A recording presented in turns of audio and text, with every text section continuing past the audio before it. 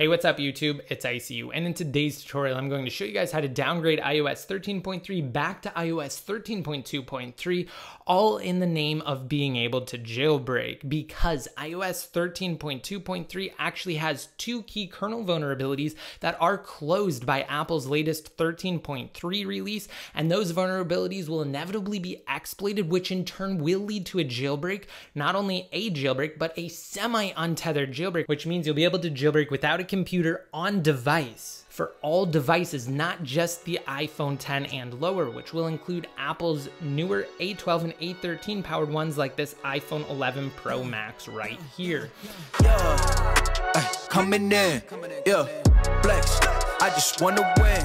There's no denying that the best possible firmware to be on is iOS 13.2.3 or of course lower. It's always best policy to stay as low as you possibly can because we just don't know when new exploits are going to drop. We do however know that 13.1.3 and lower also have extra kernel vulnerabilities. So if you're there, definitely do not update. But the choice of whether you want to update if you are on an even higher firmware like iOS 13.2, which closes those sub 13.1.3 vulnerabilities, is entirely up to you. However, like I said, it's always best policy to stay as low as possible. This is mostly for people who are on iOS 13.3 as of recording this video, but it will also work for updating as well. The exact same steps you're going to take to downgrade will also work for updating from iOS 13.2 or higher to 13.2.3. Now, I must also say that this is very time sensitive, so before you watch any further, check down below in the comment section.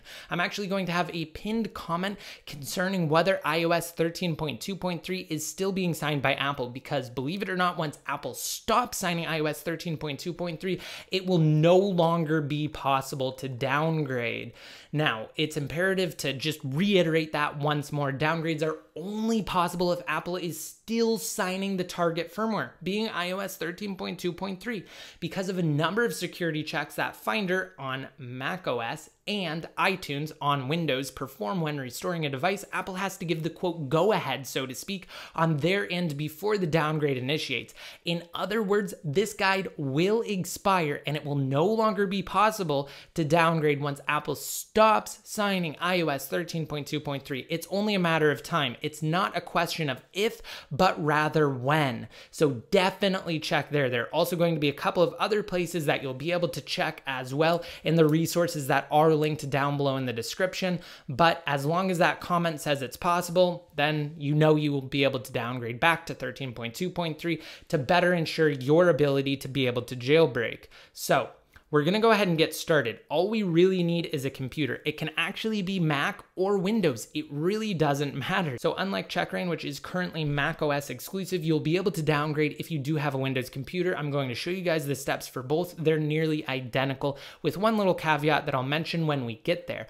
But all you need is your device, a USB cable, and a computer. If you don't have a computer, you can borrow a friend's. It doesn't even have to be your personal computer. You just need a computer for the downgrade process process and it doesn't take long at all, maybe 20 minutes tops. So once you do have your device, a computer, and a cable, just connect your device to your computer via that USB cable and also navigate to the link that's down below in the description, the very first one. Before I show you what you need to download and how to get into these steps, I want to also show you guys inside of settings general about that this iPhone is in fact running iOS 13.3 and we're going to go back to iOS 13.2.3. And as one final and very important note concerning your data, not all data will remain on your device when going back to iOS 13.2.3. This is a deterrent measure implemented by Apple to prevent people from downgrading. So anything that's not saved in iCloud is subject to be lost. So I, of course, suggest enabling messages in iCloud, iCloud Photo Library, and other iCloud services before the downgrade process. Also, you need to create a backup as well, which I'll show you guys in just a second prior to to downgrading just to be safe in case not all of your data is saved and you don't have it saved inside of iCloud, then you can create that backup. So once you navigate to that link below in the description, it's just a post on Best Tech Info that contains written form of everything I'm talking about today and all of these steps. I want you guys to scroll down to where you see download iOS 13.2.3 IPSW and click on that big blue button. You'll then be redirected once all of the resources are gathered. And from there, I want you guys to click right where it says click here and you'll be redirected to the source site. From here, you just need to select your device. I have an iPhone, so I'm going to select iPhone. Next, this is very important. You need to actually select which device you have. I know personally that this is a global iPhone 10 model. So that's what I'm going to select right here. Nine times out of 10, if Apple is still signing the firmware and you're experiencing issues during the downgrade process, it's because you downloaded the wrong IPSW. So if you just don't know which one to click on, because there are a couple of different variants for each device, then definitely go up at the top where it says identify my device. And you can follow these steps and enter your model number to help you know which version to download. So I already know, so I'm gonna go back and I'm gonna go to iPhone 10 Global, and then I'm going to download iOS 13.2.3 the IPSW. So click on it and then click where it says download. Remember how I told you guys that there are going to be a couple of ways that you'll know whether or not it's still being signed? Yeah, this is how. So this firmware will stay green so long as it is being signed. Firmwares that are no longer signed join the ranks of unsigned IPSWs and they turn red. As of now, as of recording, Apple is still signing 13.2.3. The window is very small. They're going to close it sooner rather than later. So do this ASAP. Now, once you navigate to it and download it, again, it will place it inside of your default downloads folder. So you need to know where that is. Uh, it's very simple for Mac OS. It just puts it inside of downloads and on Windows, it also puts it inside of downloads. But if you downloaded it somewhere else, then just know exactly where it is. Now, like I said, you need your device connected to your computer via a USB cable. On my Mac right here, this is the first time I'm connecting my device to my computer. So what I'm going to do is just click on trust on my Mac and then on my device, it will pop up with this little pop-up asking me to trust the connection. You'll receive the same thing on Windows inside of iTunes if it's the first time connecting. So tap on trust on your device and input your device's passcode and then you should have that connection verified. And like I said, I want you guys to create a backup. So this interface is basically the same. Inside of iTunes, you need to navigate to the device tab. For macOS, if you're on Catalina, you just need to click on it inside of Finder in the side right here and just click on backup now. Now, if you want things like your health data, you also need to encrypt your local backup as well. So check that box and input any password. This is just encrypting your backup and it needs this encryption to save some of that more sensitive personal data from your device. So I recommend just doing something easy or something that you actually know. The only time you need this is when utilizing that backup. It really doesn't matter what it is. You can obviously remember the password in your keychain if you do have a Mac or just save the passcode in a note on your device because of course that is saved in iCloud and that's encrypted. So just make sure that you know that passcode if you do encrypt your local backup. I'm not going to do that and I already have my device fully backed up, so I don't have to worry about it, but I highly recommend clicking where it says backup now and then waiting for that backup to complete prior to continuing. That is very important. Once that backup is finished, then you know beyond a shadow of a doubt if anything happens during the downgrade process, you'll have your personal information to go back to. Also, note that you will not be able to use that personal information on iOS 13.2.3. You will not be able to restore from a backup created on iOS 13.3 on a lower firmware unless you modify it. I actually did a full fledged in depth tutorial on how to modify backups.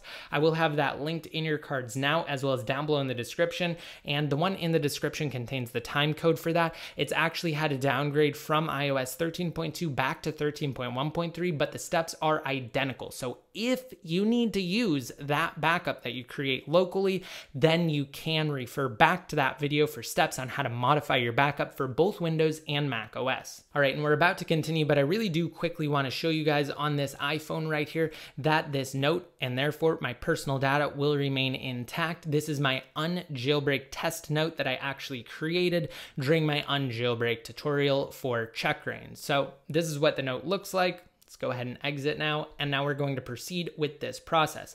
You need to actually hold down a key on your computer's keyboard. If you're on Windows, you're going to hold down the Shift key. If you're on Mac OS, you're going to hold down the Option or Alt key. So again, either Shift or Option slash Alt for Mac. It's only one key based on which operating system you're on.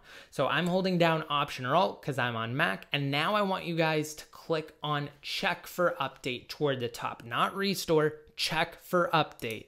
And that should leave most of your data intact, especially if you have all of those iCloud settings checked that I talked about previously. And then you need to point it at your device's corresponding iOS 13.2.3 IPSW. Once you select it and you click open, click on update the prompt that you receive, and then it's going to prepare your device for software update. But first, it's going to ask you to input your device's passcode. This is just what you use to unlock your device, and it may take a second for that to appear as well. And once it does, just input the passcode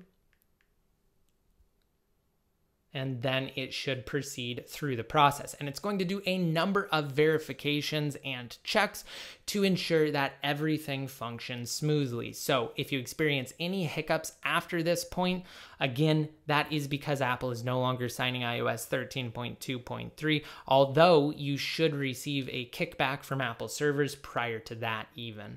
So I'm going to click continue here on this prompt that says to enter your device's passcode, and it's just going to go through the update or rather downgrade process. Remember, we are tricking it to essentially downgrade us back while also retaining the vast majority of our device's data. Now, there's really not going to be anything interesting going on inside of Finder. It's just going to have this little spinning wheel over on the left, and really the main progress for the downgrade is going to be on your device beneath the Apple logo, that restore bar that's what you want to refer to. The same thing goes if you're on Windows. Um, really, the main and overall progress is going to be actually on the device itself. Definitely do not disconnect it. You will encounter issues and complications, and this is also one of the reasons why I had you guys create a full backup prior to this point because if anything goes wrong whatsoever, it's always better to have that backup than to not have it. So this does take quite a bit of time. I'm actually going to come back once we are further along in the process.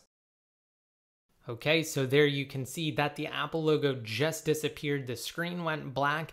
It's going to come back up and there's going to be another Apple logo with the progress bar beneath it. That's just going to be the on-device consolidation stage. So just wait for your device to come back up. At this point, you can unplug it, but it is not recommended.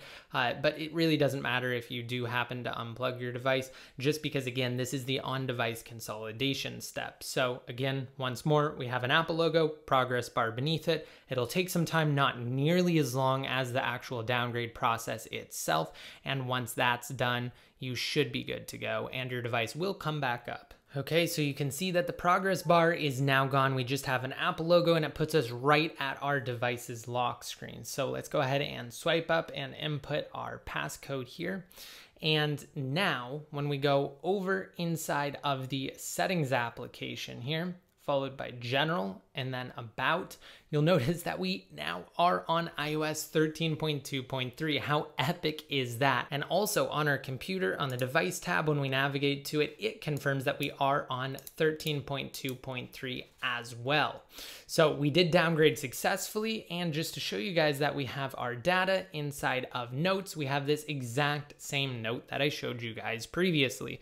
If you encounter any sort of issues or data loss, like I said, definitely check down below in the description for information on how to use that backup that you created on a higher firmware on iOS 13.2.3.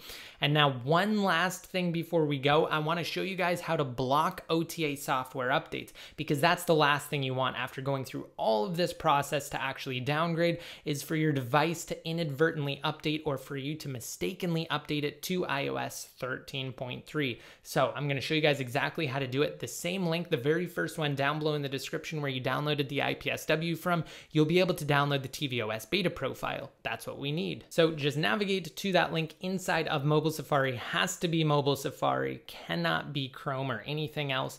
And then just scroll all the way down to the download section and tap on the tvOS button there. And then it's just going to take a few seconds to gather the links and then you will be redirected. And once you are, just tap right where it says download for the tvOS profile and then it's going to put you on this page here. And I want you guys to scroll all the way to the bottom once more, and you're going to download the tvOS 12 version. Do not download tvOS 13. 12 is the one that blocks updates, and then just tap through the prompts to download it and then followed by allow on the pop-up and then at this point you guys need to go inside of the settings application tap on profile downloaded followed by install, and then input your device's passcode. And once you do, tap install to the consent, followed by install again, and then you just need to reboot. So I'm gonna restart right now, and at that point, once your device comes back up, you will not have any available updates. And in fact, updates will not install automatically. The only thing you have to watch out for at that point is when you connect your device to your computer. So just remain vigilant of any and all pop ups once you connect to your computer after you downgrade. So let's go ahead and unlock now that we are rebooted here and go inside of settings, followed by general, software update. And now you can see that the update does not actually work. So it says that 13.2.3 is the latest version, whereas before I showed you guys it said 13.3 is the latest version. That's because we broke it with the installation of that tvOS profile. So I really hope you guys like this tutorial. Stay tuned. I'll keep you guys fully in the loop for anything everything related to jailbreaking and also any new developments to come of those kernel vulnerabilities on iOS 13.2.3. And until next time, this is ICU signing out.